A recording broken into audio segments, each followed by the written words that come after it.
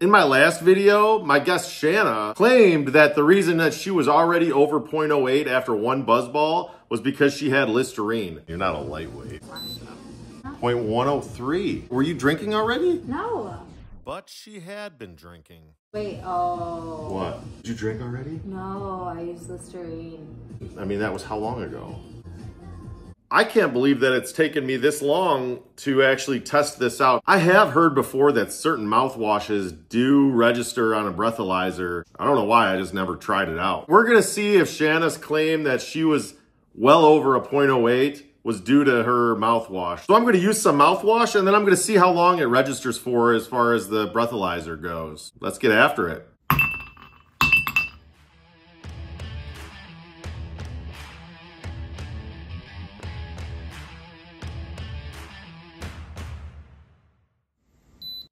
So in the video, Shanna said Listerine specifically. I went and I bought some Listerine for a fresher, cleaner mouth than brushing alone. Kills 99.9% of germs that cause bad breath, plaque, and gingivitis. Does it say anything about alcohol? It says peel here.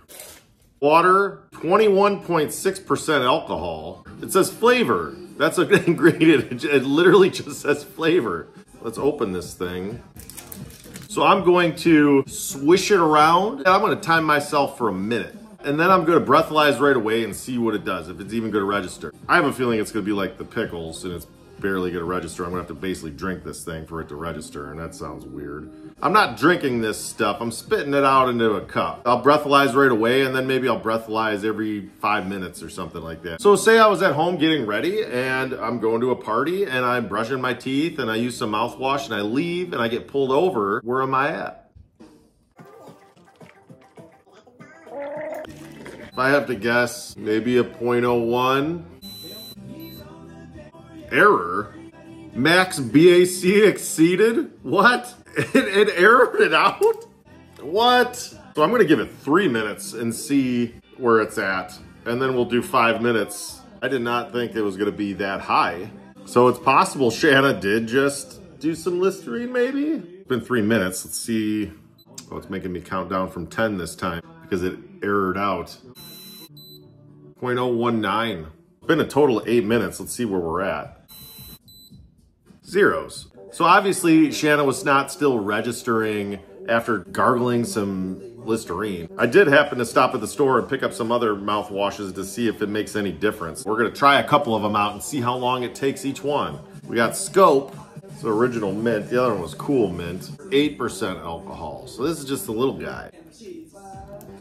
All right, let's do the same thing with the Scope. Let's see how this goes.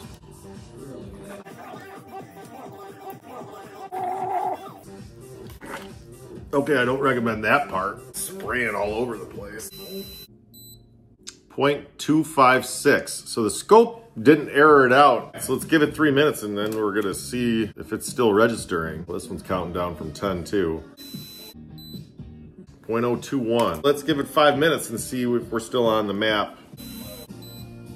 All right, so we're at zeros. I think we've established by the time you use your mouthwash, get into your car and start driving, you're not gonna register Unless you're doing mouthwash right before the cop pulls you over, I don't think you have anything to be concerned about. I got one more. This one says that it's alcohol free. So I'm curious if I use this one and breathalyze immediately after, it says alcohol free. It should register zeros, right? So we're gonna try this out and see if that still registers zero or is it like an implied like, well, you know, there's not a lot of alcohol, so we're gonna put no alcohol. I'll try not to make a mess this time.